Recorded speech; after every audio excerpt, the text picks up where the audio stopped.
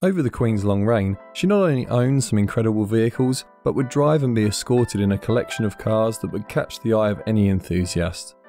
To list every vehicle in the royal household would be a scrolling register of exquisite machines produced by several manufacturers from different nations, although the love of British manufactured cars is clear when you glance at the vehicles the late Queen Elizabeth II had in her private collection. Supercar manufacturer Aston Martin sits alongside Jaguar and Bentleys and even a Maybach. Vehicles within the Royal Mews have also gone in and out of service with displays at museums and royal properties to be viewed by the public. Our list is non exhaustive, and so if you know of any other vehicles, please drop them in the comments below as we wanted to run through some highlights. First up, the Bentley State Limousine that many would associate with the Queen due to its use both in the UK and overseas as the main road transportation of Her Majesty. The vehicle was commissioned in 2002, and two were built using the Bentley Arnage platform of the time to create an armoured limousine to meet the specifications of royal requirements. This was not the first vehicle Bentley had built for the royals, and it is still in use to this day. It was used as transport during the funeral of Queen Elizabeth II for both King Charles on the way to the funeral and Kate, now Princess of Wales, during the procession after the service. It is powered by a 6 and 3 quarter litre V8 engine producing 400 horsepower and 1616 pound-feet of torque, although it is unlikely to have a need to call on its power reserves. A Rolls-Royce Phantom limousine purchased in 1950 would be the transport of Elizabeth II in 1952 on her way to become Queen. Three Rolls-Royce Phantoms are in the royal household, with two more purchased in 1978 for the Silver Jubilee and in 1987. The original Phantom 4 is the only one of its kind, with the other two both Phantom 6 models. The early one is a 6.2 litre V8 and the second a 6 and 3 quarter V8 motor. The Jaguar Mark V not only personified the craftsmanship on offer by the luxury car brand, but caught the eye of Queen Elizabeth II. However, this would not be the only Jaguar to catch the Queen's eye. More recently, she was pictured driving her 2009 Jaguar X-Type Sovereign Estate, equipped with a V6 engine. It was sold in 2016. As mentioned in our recent buyer's guide for the Jaguar XJ, the large luxury saloon has been the choice of British politicians and royalty for some time, and two 2012 stretched versions of the Jaguar XJ are in the royal household. Queen Elizabeth II's final vehicle to be transported in was the last of the line Jaguar XJ, heavily modified with her input to become the hearse that would transport her to her final resting place and would meet an RAF C-17 Globemaster to transport her back to Buckingham Palace after her death at Balmoral Castle. Among these luxury vehicles, the Queen was also seen in a host of more ordinary vehicles.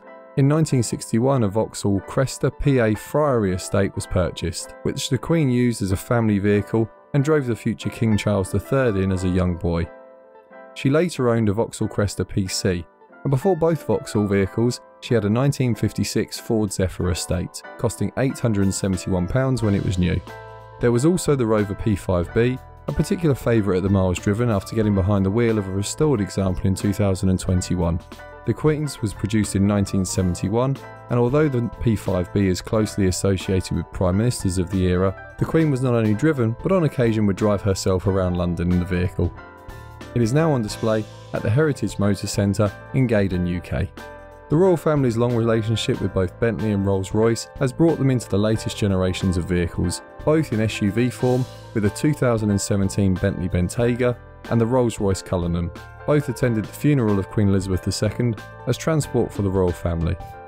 The royal family have also had a long attraction to Daimler vehicles, holding both a classic Daimler DS420 and a newer Daimler V8 Super Saloon long wheelbase, producing 375 brake horsepower and painted British racing green that the Queen and her husband Prince Philip were both seen in during the three years the vehicle was their personal transport. In that time it covered 11,000 miles and it would be sold from the collection with a total of 16,000 miles on the clock, including the 2,500 miles that Daimler had test driven the car prior to delivery for final checks. A list of the Queen's vehicles wouldn't be complete without mentioning Land Rover. A Series 1 Land Rover was acquired in 1953 with custom rear platform for standing passengers, and in 2015 an L405 Range Rover with hybrid powertrain was also acquired. The Queen was said to have a particular affection though for her 2002 Land Rover Defender, equipped with a TD5 engine. It was also common to see her driving an L322 Range Rover, a vehicle that she clearly adored due to its constant use even as newer models were released. The final official engagement Queen Elizabeth II would need to be transported to would end up being in her L322 Range Rover. This snapshot of the Queen's cars has missed many classics included in the Royal Mews, to include the Aston Martin DB6 used by William and Kate during their wedding, the Alvis TD21 Series 2 drophead, and Lagonda 3 litre drophead coupe. The Queen and Prince Philip clearly both had an enthusiasm for cars, and this appears to have trickled down with their son, King Charles III, the owner of the above mentioned Aston Martin DB6, along with previously owning both an Aston Martin V8 Vantage Volante and his sons both the recipients of fast Audis in recent years. As ever, if you have enjoyed the video, please consider leaving a like so that others can find it.